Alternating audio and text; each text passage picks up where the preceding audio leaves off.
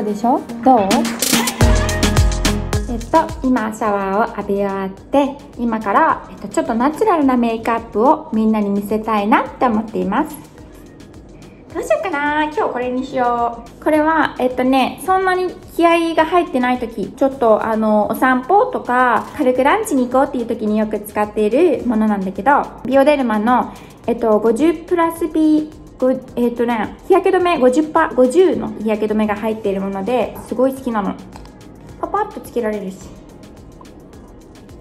うん。もうスキンケアは整えた。すっごい早いよ私のメイクアップ。えーとこれをパパってつけます。よし。塗り終わった。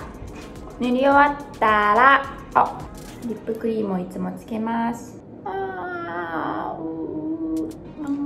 私のねお気に入りのリップクリームなんだけどグロシアルって言ってこれオーガニックのブランドなんだけどバーテーボン .com って言って誕生日ケーキの匂いがするリップクリームなの。すっごいいい香り。だから朝からなんかねケーキ食べた気分になる。そしてえー、っとちょっと待ってね。ちょっとまだね慣れないからすごい下手。次はこのクラランスのフェイスパウダーがね粒子が細かくてマットになりすぎない肌にしてくれるの。うんうんうんうんうんうん。空港で買ったんだ。終わり。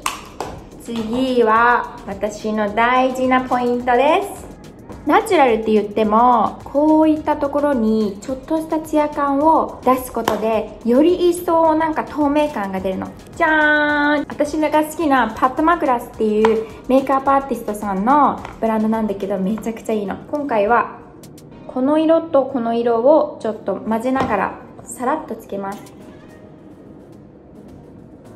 あとねハイライトは鼻の先にもつけると鼻がスッと見えてすごい。あとここ。チュンチュンチュン。シュッシュシュッシュッシュッシュッシュッシュッシュッ終わり次は眉毛を整えましょう。これなんかお気に入りなんだよね。なんかねこれすごい描きやすくて私結構お気に入り。リンリリンリンリンリンリン。まずはここのブラシのところで眉毛をこうやって整えるの。うん。眉毛をまずブラシで整えたらさらっと描く手にも力をなるだけ入れない。そしてこの内側。あ今気づいた？えっとこの眉毛のこの内側をさらっとちょっと入れてでこうやってスッと伸ばすと鼻筋がスッと見えるの。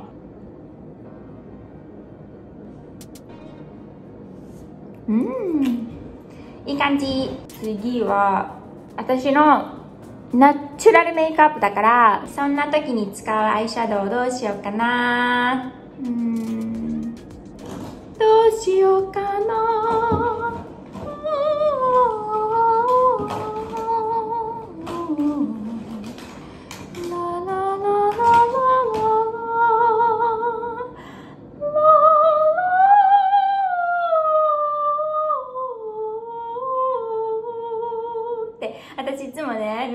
歌うの。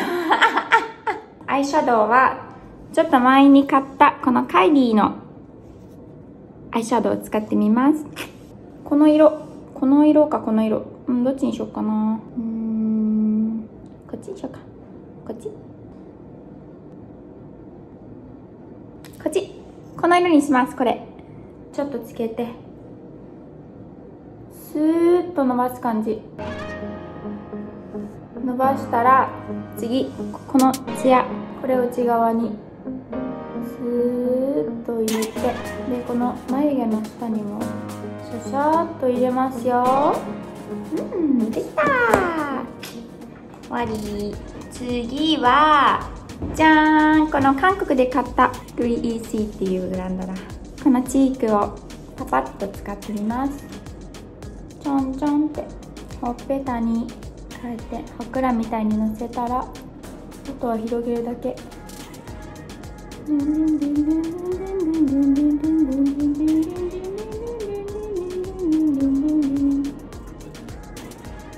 ちょっと気血色がついたよ。いい感じ。マスカラいきます。ナチュラルメイクアップの時はえっ、ー、とアイラインをしないんだ。うん上がった上がった？上がった。じゃあまつげが上がったら次はマスカラで。これは私の。すっごいお気に入りのマスカラなの。ヒュージっていうブランドで知ってる？スティラっていうブランドから出てるマスカラなんだけどすっごいまつげが上がる。見ててね。ナチュラルメイクの時のやっぱりポイントはアイラインとかもしないからマスカラかな？マスカラがすごく大事だからしっかりつけるんだ。こっちがつけてないこっちがつけてるやつ。全然違うでしょ。ほら。パッチリ。パッチリつけますよ。あパッチリした。で下も軽くね。はい。見てマスカラがつくだけでパッチリしていい感じでしょ。はい次です。大事なこと忘れた。これはすごくポイント。ちょっと結構昔に買ってずっと長くあるからちょっと色が変わっちゃったんだけどマックで買った眉毛を、えっと、キープさせる透明のジェル。眉毛ってさ時間が経つとこっち行ったらあっち行ってちょっとバラバラしちゃうんだけど眉毛の印象って顔の中でもすごく大事でだからその眉毛の眉毛がスッとこうやってちゃんと整ってるとあなんかいい感じっていう風に思えるの。いい感じっていうかなんかあれ？スッとしてるみたいな。まあ私の説明よりプロのヘアヘアメイクさんの説明の方がきっと上手だと思うけど気にしないでね。はいこれで整えました。ほらなんか整ったでしょ？うんいい感じになった。うんと次。目の下にちょっとだけナチュラルだからちょっとだけ目の下を明るくします。えっ、ー、とこれ。この色を使います。ほんのりね。そうするとねパッと明るい印象になる。ここ。でやっぱりもうちょっと眉毛の下に。ほらわかる？いい感じでしょ？はいじゃあ次は。ほくろの時間です。私はほら鼻の下とここにもあるの。わかる？でこのほくろをチャームポイントにしようっていつも思っていて。でなんかメイクすると中途半端に薄くなるからこれをもうちょっと足すの。ほらあえて足しちゃう。でチャームポイントにする。ほくろも終わりましたと。さあということで。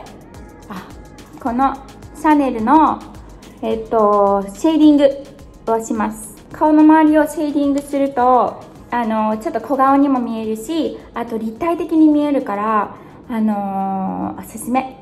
これブラシもついてるからすごい楽。でんでんでんでんでんでんでん。どう？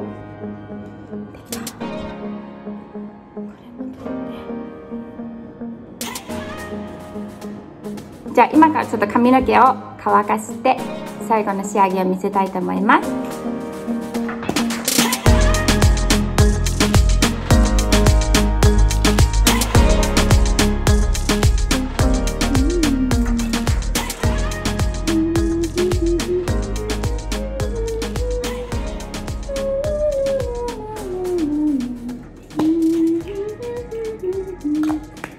ぷり使います。お湯を。なるだけヘアオイルとかはナチュラルな成分が入ってるものを選ぶようにしてる。基本的にオーガニックなものが多いの。こういう私ちょっとウェットなスタイルがすごい好きなんだ。よし。できた。この後最後の仕上げにどんどんいきます。えっと、たまに私こうやってつけたりするコンタクトがあってじゃあ今日はちょっとそのコンタクト紹介。レビアで私が実はプロデュースしたコンタクトですっごくナチュラルに見えるからちょっとぜひ今つけてみるね。つけてみた。こっちがついてる方でこっちがついてない方。違うでしょ？どう？ちょっと髪の色と合っててなんかほんのり茶色になってるからいいでしょ？どう？両方つけてみた。こんな感じ。ナチュラルでしょ？ぜひ、えっと、みんなもぜひ参考にしてみて。またね。バイバイ。